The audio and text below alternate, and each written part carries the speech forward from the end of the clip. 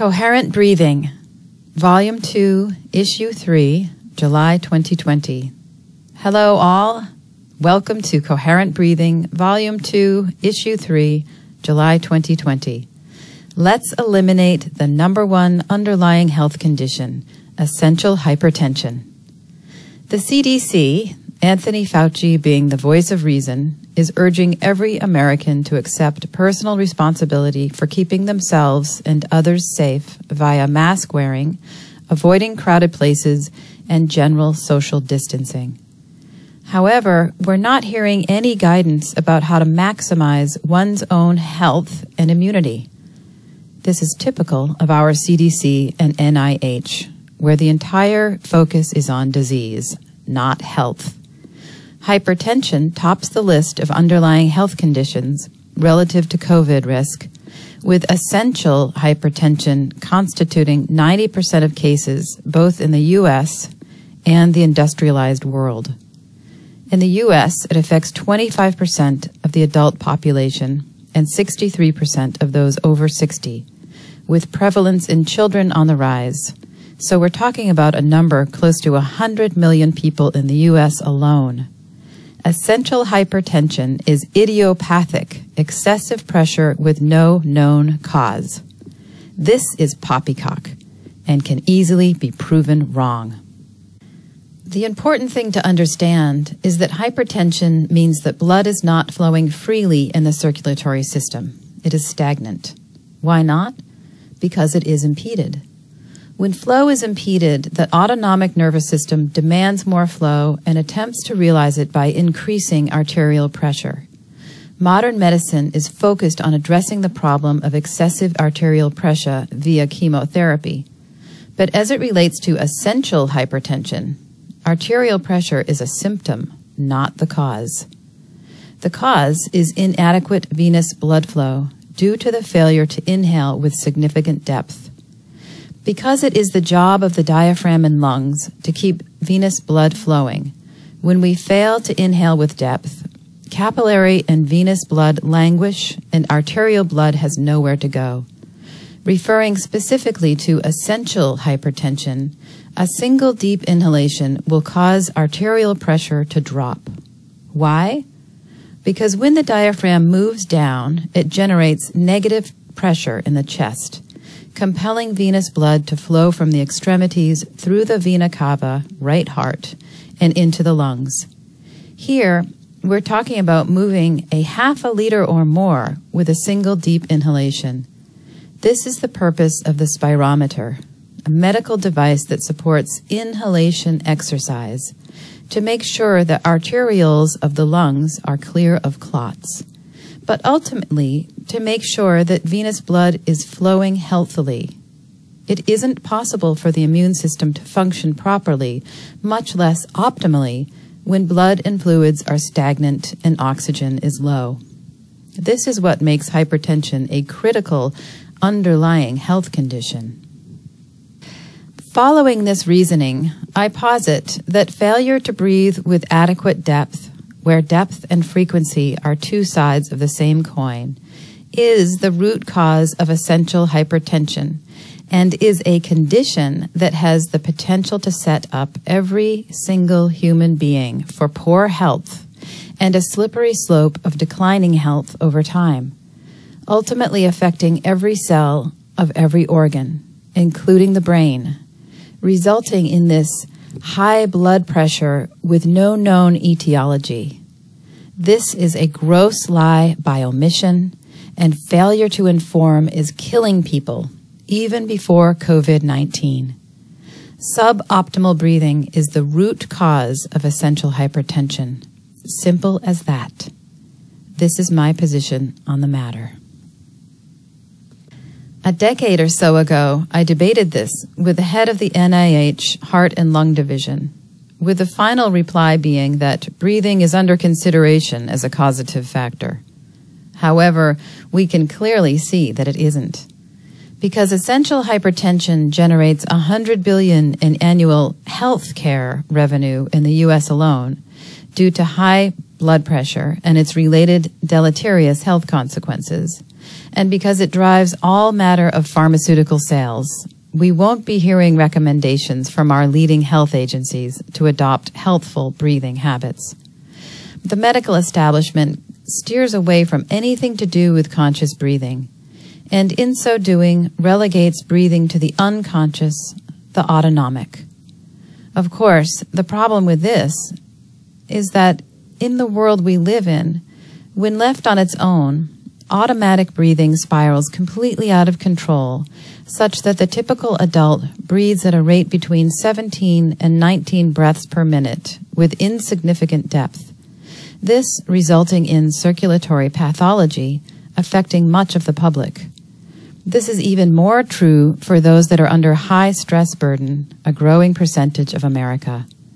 I posit that this blood stagnation due to suboptimal breathing does systemic harm to health and immune function at a cellular level, including suboptimal fluid exchange, oxygenation, hydration, nutrition, and immunity.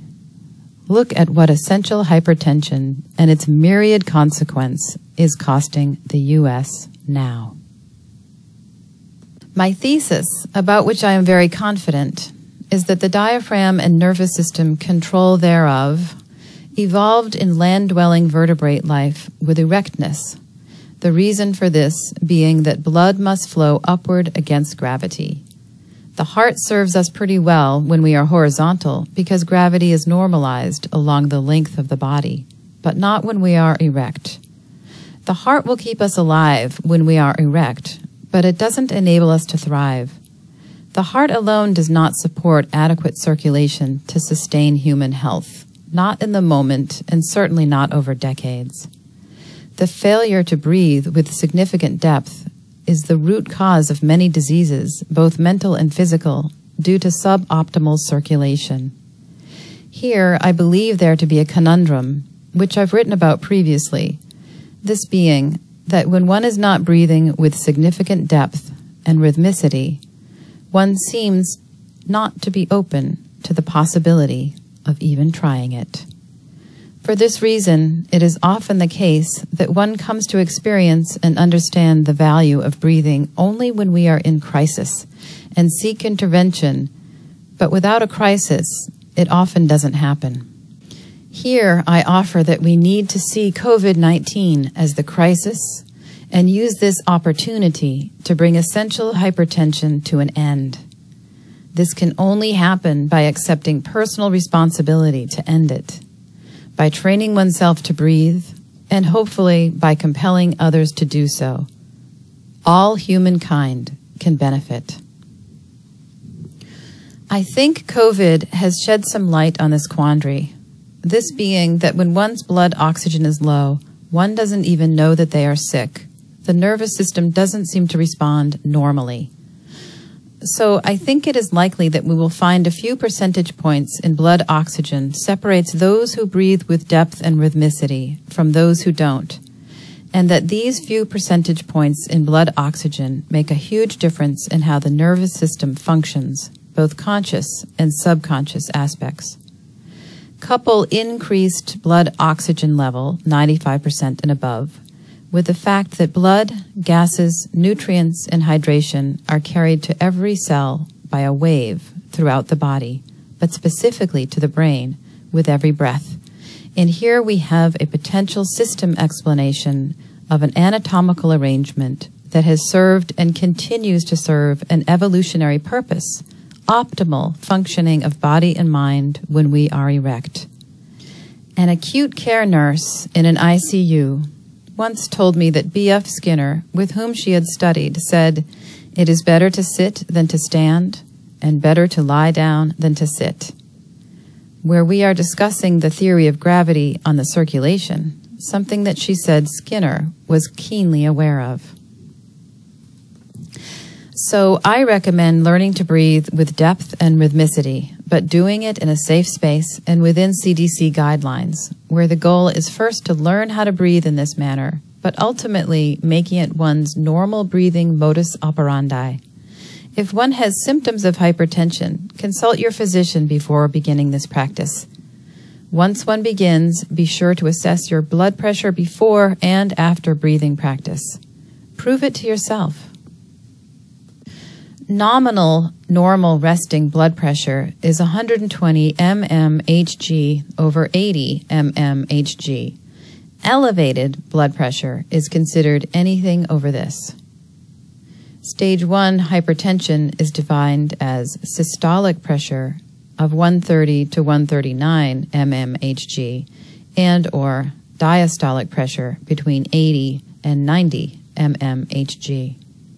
Stage 2 is defined as systolic pressure greater than 140 mmHg and or diastolic pressure greater than 90 mmHg.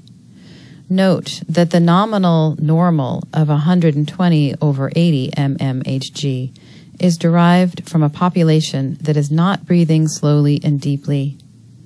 Figure 2 presents systolic and diastolic pressures of a trained breather breathing slowly, deeply, and rhythmically. Obtain a pulse oximeter and use it daily. Try and keep blood oxygen levels at 95% and above, as this is understood to confer heightened immunity. Breathing with depth and rhythmicity ultimately requires increased hydration. This is thought to be due to an increased fluid exchange that occurs between the bloodstream and the aqueous cellular environment. The same demand for increased fluids occurs during exercise for the same reasons. The diaphragm is a large, strong muscle that requires energy. Erik Peper, PhD, has several excellent blogs on the topic of breathing safely, including the importance of breathing through the nose versus mouth, as a job of the nose is to filter incoming air, both physically and immunologically. It also helps generate wave action in the circulation, as the nasal turbinates are under subtle autonomic control so as to establish optimal pressure in the lungs. I implore my readers to spread this message far and wide. Free resources can be found on the Coherent Breathing channel. Stephen Elliott, President, Coherence. Subscribe to Coherent Breathing, an occasional journal of complementary solutions for health, well being, performance, and longevity. It's free.